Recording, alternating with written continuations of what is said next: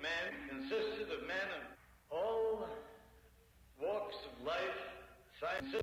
These brilliant-minded men consisted of men of all these brilliant-minded men consisted of men of all walks of life, scientists, military leaders, economists, educationalists, encyclopedists, so on.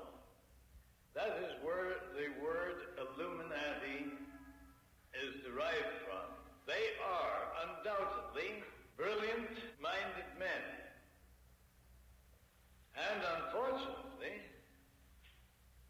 they have become self-conceited, so swell-headed, that they actually believe that they know better than Almighty God how the universe should be ruled, and that is the struggle that's going on today.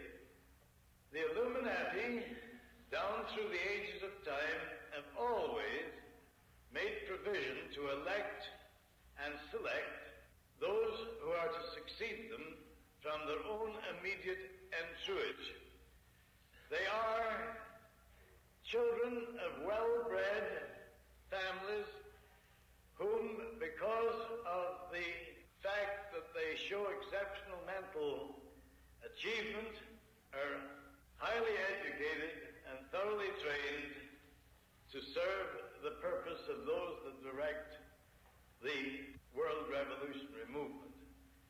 These youngsters, when they are going through college and university, don't realize why they are being showered with grants and scholarships and all the rest. They become strongly attached for those that finance their education and then place them into exceptional, the remunerated positions.